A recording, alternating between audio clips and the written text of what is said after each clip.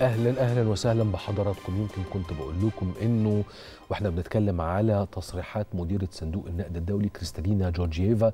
فكنا بنتكلم عن إنه والحوار الوطني في النسخة اللي جاية أو في المرحلة اللي جاية هيبقى الكلام يجي 70 80% منه اقتصاد حلول اقتصادية حان الوقت لتنفيذها. هي إيه؟ أكيد هنتكلم. مرحلة تانية هي مرحلة المأسسة لحلول اقتصادية. قد يراها البعض ملحة قد يراها البعض عاجلة. حوار يشكل لجنة لتنسيق تنفيذ مخرجات المرحلة الأولى بالتعاون مع الحكومة. سؤال بقى التوصيات اللي إن شاء الله هتتنفذ. أدي واحد اتنين وآلية التنفيذ. ثلاثة وهو المهم الأولويات.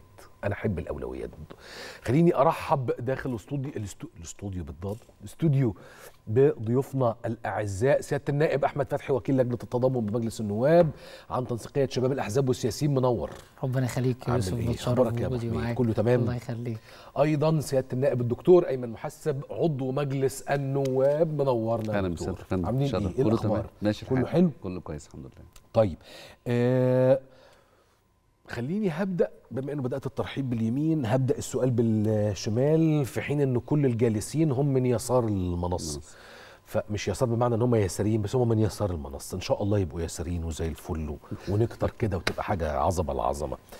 هل هي حلول اقتصادية ملحة أم عاجلة؟ سؤال رائع الحقيقة. طبعا هي حلول اقتصادية عاجلة جدا جدا. وجزء منها ملح لأن تداعيات الأمور اللي إحنا فيها أو الاقتصاد زي ما سيادتك عارف المصري والعالمي على فكرة إحنا مش عندنا أزمة لوحدينا. الأزمة عالمية مش إحنا بنقول الكلام ده عشان نطبطب على بعض جوه مصر لأ. الأزمة كبيرة أمريكا كل يوم بتعلي سعر الفايدة عشان تمتص الغلاء اللي عندها إنجلترا نفس صحيح. الكلام فرنسا نفس الكلام فأوروبا بتعاني أكتر ما إحنا بنعاني ما فيش كلام ولكن طبعا هناك اقتصاديات مختلفة شوية اقتصادات صناعية أكتر فالدنيا مش فيها إشكاليات كبيرة زي عندنا. ولكن إحنا عندنا أمور عاجلة. الحوار الوطني طبعا عمل جلسة إمبارح فورا وحدد جلسات من أول بعد بكرة وبعده وبعده على طول عاجلة جدا عشان نبتدي نفرز بسرعة الحقيقة التوص... المخرجات اللي جات لنا الفترة دي. وزي ما سيادتك كنت بتتكلم هل إحنا هنتكلم على حلول ومخرجات مثل ما حدث في المرحلة الأولى؟ ولكن ولا هنحط أجندة تنفيذية؟ ده اللي. هيحصل المرة دي. آه، بنتكلم في حلول عاجلة عشان المواطن لا يتحمل أكثر من ذلك عشان نكون واضحين جدا السيد الرئيس الحقيقة لحق آه، شعب مصر بفطرته الطبيعية وأصدر هذه الملحمة من القرارات الإنسانية في إنه رفع الحد الأدنى للأجور وإنه هو زود المعاشات لتاني مرة خلال 8 شهور بالرغم من وجود أزمة موجودة صحيح. صحيح. اقتصادية ولكن ده ما فرقش مع القياده السياسيه وخد القرار عاجل جدا ب... ب... نحو المواطن بشكل مباشر انحاز للمواطن. في فجوة أنا كنت عضو لجنة الخطة والموازنة قبل ما وكيل لجنة الشؤون العربية آه. وشايف إن في فجوة في هذه الكبيره في الموازنة العامة للدولة. وبالرغم من كده الرئيس ينحاز للمواطن البسيط ويصدر سلسلة نشكره عليها شكر عميق ب... ب... باسم كل نواب شعب مصر وشعب مصر الحقيقة يعني. طبعا. ولكن الحوار الوطني هيعمل إيه الفترة اللي جاية؟ الحوار الوطني بشكل مباشر آه، اقتصاد اقتصاد اقتصاد زي ما سيادتك تفضلت في المقدمة قلت حوالي 70 80% من المرحلة الثانية هي الظروف اللي فرضت إنها تكون اقتصادية. هنتكلم على حلول عاجلة جدا هنتكلم على شورت تيرم هنتكلم على حلول تتنفذ حدها الاقصى ست شهور. يعني في حلول تخلص في أسبوعين وحلول تخلص في شهر وحلول في شهرين وحلول في ثلاثة حدنا الأقصى في المرحلة اللي جاية هي نلحق المواطن بسرعة جدا. الغلاء سعر الدولار زي ما سيادتك كنت بتتكلم. والحقيقة أنا أعجبت جدا بالتقرير اللي فات لأن صندوق النقد ما بيهزرش مع حد طبعاً. دي جهة دولية ما بتتكلمش وخلاص أما لا يحابي لا يجامل يعني على ما فيهاش. هزار على ما. فيهاش هزار لما اتفضل. طيب أنا معلش أنا هستأذن عايز أرجع هنا سياده الامام أحمد فتحي ويمكن أنا من الناس اللي بتتابع النشاط اللي بتقوموا بيه في التنسيقية الكثير من مناقشات ندوات ورش عمل إلى آخره وبالتأكيد وصلتوا آه، آه، لتصورات عن ما سوف تقومون بطرحه خلال الفترة الجاية في الحوار الوطني آه، في مسألة ال- ال- ال- ال- الحلول الاقتصادية ما بين ملحة زي ما قال دكتور أيمن وما بين عاجلة أبرز أولويات من وجهة نظركم إيه؟ أول حاجة بتشرف بوجودي مع حضرتك. ومع صديقي العزيز من قبل. المجلس زي الدكتور كده يعني إحنا أصحاب أتشرف أتشرف أنا اللي أتشرف هي الميزه اللي موجودة في موضوع التنسيقية إن إحنا بناخد الحلول من الشارع فلما نزلنا عملنا دايما معتمدين على فكرة الحوار المجتمعي آه. اللي هو بيصب في الحوار الوطني. صحيح. فمجموعة كبيرة جدا من الشباب وبالأخص اللي شغالين في ملف رواد الأعمال والمشروعات الصغيرة كانوا بيسألونا هو ليه ما فيش وزارة للاقتصاد؟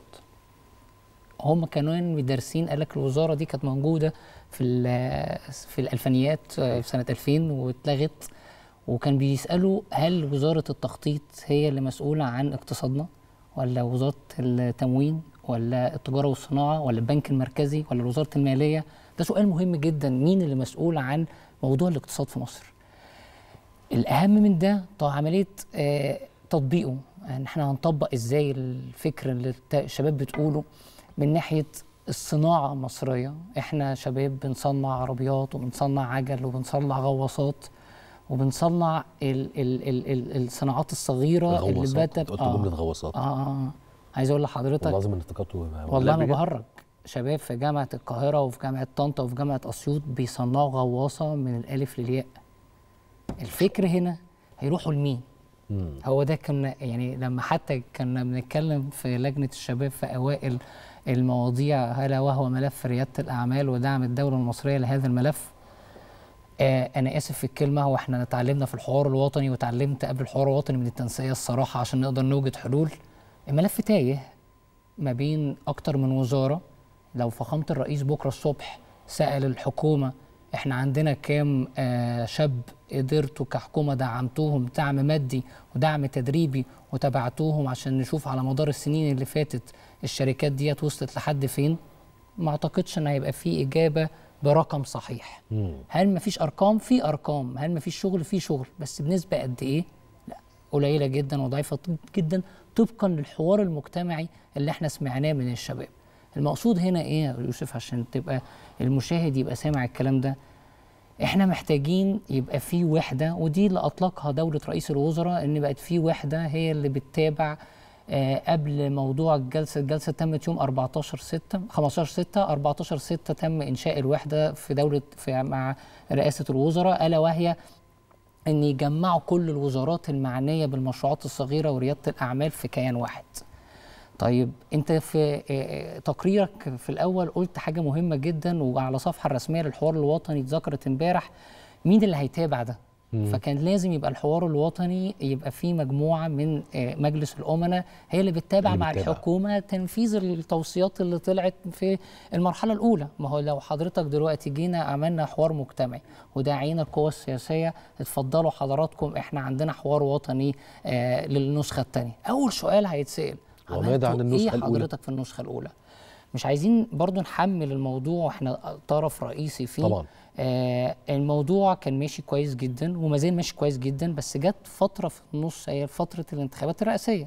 وده شيء يحسب طبعا للحوار الوطني اللي هو ما كملش في الحوار عشان في ثلاثة مرشحين منهم مرشح حزب الوفد صحيح. متواجد في الانتخابات الرئاسية فما كانش ينفع يبقى في الحوار يعني رايح ل- لكي لشخص فخامة الرئيس دونا عن السادة صحيح. المرشحين التانيين. فاللي حصل إن تم إيقاف آه، الحوار الوطني من شهر آه، عشرة حتى خلاص امبارح بداية النسخة الثانية وده شيء محترم جدا.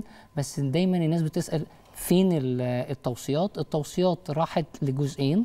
جزء منها راح للسلطة التنفيذية وعلى صفحة رئاسة مجلس الوزراء حطوا خطة زمنية إزاي ال 133 موضوع راح لهم 133 توصية إزاي هينفذوهم على مدار الشور تيرم وكمان المجلس آه، النواب إيه القوانين اللي المفروض الأولوية اللي هيتم. مناقشتها كل ده آه، جميل جدا إن إحنا نسمعه وإن إحنا نشوفه عشان لما ننزل للشارع خلال الفترة الجاية يوم الثلاث الجاي هتبدأ أولى آه، الجلسات. في النسخة الثانية فلما الناس هتتكلم عن التضخم وغلاء الأسعار الحمد لله وده شيء برضو يحسب لمجلس أمناء الحوار الوطني إن عملها جلسات مغلقة بس معلنة في نفس الوقت ومتخصصة في نفس الوقت. التخصصيه ان يبقى في ناس اكسبرتس ناس خبراء في. المجال الاقتصادي عشان يقدروا يحلوا مشكلة زي التضخم وغلاء الأسعار مشكلة كبيرة جدا زي الصناعة في مصر. ال- الهدف هنا مش إن أنا أحط طرح ورقي. طبعا. لازم يكون الطرح تطبيقي. طبعا. وبالتالي لازم يكونوا اللي قاعدين خبراء. طبعا. مش إنه مثلا يوسف مذيع. عنده أحلام. طب إحنا رايحين نتكلم على شوية أحلام ولا رايحين نتكلم على مشروعات قيد التطبيق؟ تنفع تتفعل طيب هستأذنكم هطلع لفصل في السريع جدا وهنرجع نكمل الكلام مع السادة النواب الوكلاء بالمناسبة. خليكم معنا بعد الفاصل.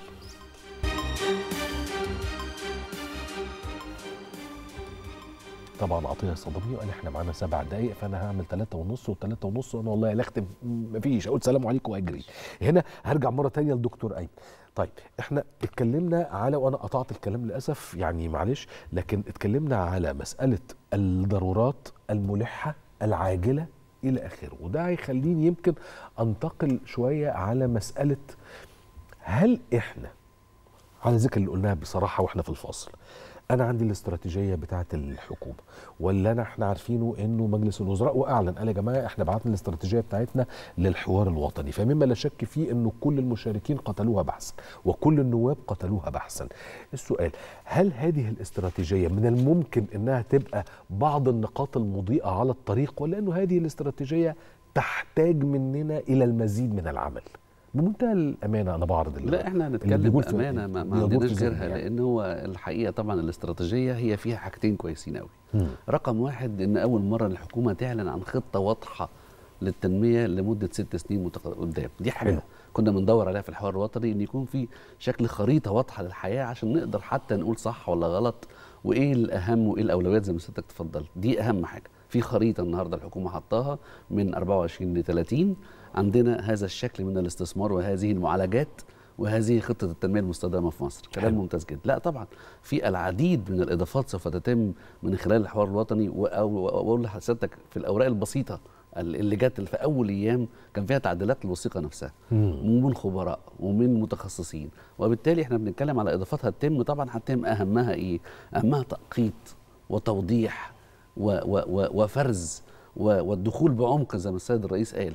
إلى كل هذه التفاصيل. لما سيادتك كنت بتتكلم في الفاصل بتقول يعني مثلا هم قالوا عن عنوان التضخم هم اتكلموا على التضخم بس ما قالوش هنحد منه إزاي. اتكلمنا عن الرقابة في الأسواق هتتم بأنهي آلية؟ آه. وإيه السرعة في الآلية؟ طب والحاجات اللي هتضبط هتروح فين؟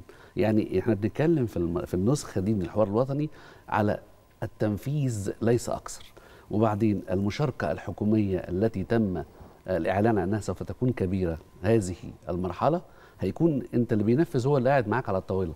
يعني اللي قاعد معاك على ترابيزة المفاوضات دي أو هذا أو هذا الحوار هو الحكومة ذاتها. وبالتالي القرار اللي هيطلع هو قرار قابل للتنفيذ وإمكانيات تنفيذه من عدمها ومدة تنفيذه هتتحط. ده النسخة الثانية من الحوار الوطني. ودي أهم ما يميزها. وده بصراحة اللي إحنا محتاجينه. ده اللي هيرد على سؤال سيادتك في الأول. هي عاجلة أم ملحة؟ ملحة. طبعا هي عاجلة وملحة. وهذه الآلية هي اللي هتعمل كده. قبل الحوار الوطني الحكومة كانت جزر منعزلة وكنا دايما كلنا بنقول الكلام ده. الحوار الوطني لا الحقيقة قتل فكرة الجزر المنعزلة. بينا كلنا قاعدين على مكان واحد. آه، لو بنتكلم على الاستثمار بتلاقي هيئه التنميه الصناعيه ممثلة بتلاقي وزارة. آه، مش وزارة بقى هيئة الاستثمار ممثلة بتلاقي التنشيط مش عارف السياحة ممثلة. بتلاقينا كلنا قاعدين بنطلع بقرار واحد في وقت واحد ومتخصصين المجالات موجودين. بنقدر نوصل لحلول واضحة بشكل منضبط. ده كانت المرحلة. المره دي لا إحنا هنقول الحلول اهي. طريقة تنفيذها اهي والحكومة قاعدة بتستلم المقترحات دي وبتعلق من وجهة نظرها ينفع إيه وما ينفعش إيه وتروح تنفذ. مفيش مم. مجال دلوقت ال- عشان إحنا إحنا حاسين في الحوار الوطني بالمواطن المصري جدا وواصل لنا لأنه شريك معانا. إحنا لأول مرة في هذه الآلية الديمقراطية الشعبية المواطن المصري بيصنع قراره. يعني النه- النهارده إحنا بنصنع قراراتنا بإيدينا. حقيقي. ودي أهم حاجة كنت بتكلم مع سياده. النائب أحمد قبل قبل الفاصل بقول له هو كان فين الحوار ده من 100 سنة فاتت؟ الله. أول والله بجد هو 100 كان في حاجات كتير قوي كنا. لازم نسأل عليها كانت فين يا جماعة؟ زمان صحيح، والله صحيح، العظيم. صحيح. طب هنا هرجع بسرعة للثلاث دقائق ونص التانيين مع سيادة النائب أحمد فتحي. يمكن في منهم حاجة سريعة كده إن أردت أن تجاوب عليها بكذا أو كذا يعني. وزارة اقتصاد ولا وزارة استثمار اقتصاد. اقتصاد. طيب خلاص. يعني هن... ده لازم طبقا لآراء السادة المواطنين والخبراء الاقتصاديين ها. لما طلبوا إن يبقى في وزارة للاقتصاد. ماشي. هنا هروح على الآليات وما إلى ذلك. إحنا وإحنا بنتكلم قلت حاجة مهمة جدا قلت هيبقى في جلسات فيها الخبراء لمناقشة ده وزي ما كان بيتكلم دكتور أيمن لمناقشة ده مع المنفذين ألا وهي الحكومة. لكن أنا لازم يجي على بالي برضو يعني أنا مش قادر لازم أروح أعمل حاجة. الحكومة في وجهة نظري اللي حطته في الاس- الاستراتيجية أقرب إلى أنا نفسي في كذا. أنا ما بقولش الحكومة تحط لي كل التاكتكس بس على الأقل تحط لي رؤوس الموضوعات حتى أستطيع أن أتبين ملامح هذا الطريق. ولا إيه؟ هقول لك على حاجة يا يوسف وإحنا كلنا شفناها خلال الفترة اللي فاتت. لما جينا قارنا جهاز تنمية المشروعات بمبادرة محترمة جدا اسمها إبدأ. آه. لما نيجي نطمن الناس ونقول إن إحنا عندنا كوادر موجودة ومشرفة بمعنى الكلمة من الشباب يقدر إن هو يخدم أكبر عدد ممكن في القطاع الصناعي ده شفناه من خلال مبادرة ابدا ابدأ ليه؟ شباب مصروف عليهم كويس جدا قدروا يجمعوا بعض قدروا يوصلوا للسادة نواب المحافظين والمحافظين اللي هم موجودين من الشباب عشان الفكر يبقى مع الفكر ينزل يطبق على بنتكلم طول. لغه واحدة طبعا فابتدى كل نائب محافظ ده حصل قدامنا وشفناه على مدار الفترة اللي فاتت كدورنا الرقابي ك- في البرلمان لقينا إن الساده النواب المحافظين هم عارفين احتياجاتهم في الصناعة في المحافظة دي عبارة عن إيه؟ مم. فلما ابتدوا يتكلموا مع إبدأ ابتدوا يعملوا حاجة اسمها قاعدة البيانات إن في جزء كبير جدا من الدولة محتاجها إتاحة المعلومة. إحنا عندنا إيه ناقص عشان نقدر نكمله. فإبدأ عملت ده واشتغلت على ده. وابتدت تش- تشتغل على فكرة إن هي تعمل مدارس فنية. فليه مدارس فنية؟ عشان التعليم الفني ده من أهم الحاجات اللي موجودة في المجتمع المصري اللي أنت تربط الصناعة المحترمة والحرفة المحترمة اللي أنت بتشتغل عليها وبتتعلمها في التعليم الفني بمشروعات صغيرة وريادة أعمال وتدخل لهم دخل شهري ثابت. قيس الكلام دوت على الجهاز بقى بتاع تنمية المشروعات لما جولنا الشباب في الحوار الوطني كانت أول كلمة بيقولوها لنا إن في مجموعة آه يعني الحمد لله قدرت تستوعب التطور التكنولوجي اللي بيحصل وفي مجموعة قاعدة جوه في الجهاز لابد من إعادة التأهيل والتدريب ليهم. مش عارفين إحنا البروبوزل اللي إحنا بنقدمه عشان ناخد فن ناخد دعم مادي آه للأسف هم مش مش على دراية كاملة بالمشروع المحترم اللي إحنا داخلين بيه. طب قيس بقى الكلام دوت على المحافظات. ده انت بتتكلم بقى على القاهرة. انزل بقى على جهاز تنمية المشروعات في مختلف المحافظات في منهم اللي نقول لهم متشكرين ان أنتوا فعلا بتذاكروا شاطرين وان أنتوا فعلا بتقدموا خدمات للناس. وفي منهم الناس اللي لازم لا يعني ما ينفعش يبقوا موجودين في العصر لو بنتكلم على جمهورية جديدة ما ينفعش الموضوع دوت بالشكل ده. طب إيه اللي أنا بقوله ده ليه؟ عشان لما دخل ابدأ مع جهاز تنمية المشروعات أنا مش داخل في مقارنة بقول مين أحسن من التاني. بس اللي إحنا شفناه ونتائجه على أرض الواقع هي بينت إن إحنا عندنا قوة اسمها إبدأ والمفروض ده يتحول لم... أنا بقول لحضرتك أهو كابن الشباب واللي سمعناهم يتحول لمشروع قانون إن ده يبقى فعلا المبادرة اللي قد... اللي قدرت تخلق رواد أعمال قدرت تخلق مشروعات صغيرة قدرت تخلق صناعات ما كناش بنتخيل إن إحنا فعلا نقدر نستوردها من بره وإن إحنا نعتمد على أنا عارف إن أنا ثلاث دقايق لا، ونص لا، خلاص بتخلص. بس الغرض الرئيسي إن إحنا ما دام عندنا شباب كفء بره خارج الصندوق الدولة المصرية لازم تدعمه وهو الدعم جاي لهم أساسا من فخامة رئيس الجمهورية. فعايزين من الشكل المحترم ده مليون ابدأ ابدأ بقى مش في الصناعة ابدأ في الملف الطبي ابدأ في الحماية الاجتماعية ابدأ في صح. مليون ملف عشان دي مبادرة نجحت. لابد من دعمها من كل آه، الاتجاهات سواء الاتجاهات السياسية أو المجتمعية. خليني وأنا بشكركم هتذكر آه، زمان أول ما اشتغلنا يمكن كلنا. آه، أنا وأحمد اشتغلنا زمان في شركة كبيرة جدا. أنا أتذكر لما أنا رحنا الشركة دي فكان نظرة المجتمع لينا إن إحنا شوية عيال لسه متخرجين من الجامعة جداد وإن إيه شوية العيال اللي هتدور شركة بهذا الحجم ودي كانت أكبر حجم موجود في مصر وقتها كان حجما ملياريا. فاتريقوا علينا فأصبحت واحدة من كبريات صح. الشركات وواحدة من أعلى وأنجح الأسهم اللي موجودة في البورصة. في دايما المفهوم بتاع الأجيال. نفس القصة مع دكتور أيمن عشان برضو كنت مشاركا في نوع ما اللي هو نفس أيوة. ذات الصناعة والإعلان. برضو نفس القصة. جيل جديد داخل على الإعلانات والدعاية بشكل مختلف تماما فيتقال إيه دول؟ هم بيعملوا إيه؟ هو وبعدين تكتشف إنه هذا الجيل هو اللي غير مفهوم الدعاية والإعلان في مصر بل وأصبح هو القاطرة اللي غيرت المفاهيم في الشرق الأوسط كله. ودي حقيقة برضه وتحسب أيضا لهذا الرجل لأنه واحد من رواد هذا التغيير. يا جماعة علشان أنا عارف اللي هيتقال على طول دلوقتي. أنتوا عايزين تتعاملوا معانا كخيل الحكومة؟ يا عم خيل الحكومة دي كلها على عيننا وعلى راسنا. لا ما حدش خيل الحكومة. أنتوا ناس عملتوا كل اللي تقدروا تعملوه وبذلتوا كل الجهد الممكن بس وسع مساحة. سيب الشبان الجداد بطريقتهم وبأفكارهم وبجرأتهم وبقوتهم وأحيانا بتهورهم علشان يبدعوا وإحنا هنقعد نقوم حواليهم. يعني لا خلي بالك دي بقى اللي اسمها فكرة متهورة. ما تيجي نعدلها. بس ما, ما تكبسش على نفسه من باب أصل دي شوية عيال ما بتعرفش. لا العيال دي زي الفل بصراحة. يعني ما أقول لك إيه طيب يا, يا جماعة جمال عبد الناصر الله يرحمه لما تولى الحكم كان في منتصف الثلاثينات. ده مثلا باراك أوباما كان رجل في مطلع الأربعينات. وهكذا. إيلون ماسك هنروح بعيد ليه؟ عمل كل الإمبراطورية دي وهو تقريبا قدي. يا راجل ده أنا طلعت خايب خالص. كل الشكر ضيوفي الأعزاء أشكركم جدا جدا جدا سيادة النائب أحمد فتحي سيادة النائب دكتور أيمن محسن نورتوني. وشرفتوني. ونتمنى بإذن الله انه الحوار الوطني في نسخته القادمة يوم الثلاثاء القادم يكلل ويمنى بكل نجاح. وتبقى آه، يعني مش إيدينا خفيفة على الحكومة إنه يتسع صدر الحكومة قدر الاستطاعة. وسعوا صدوركم. إحنا في النهاية كلنا عايزين مصلحة البلد دي.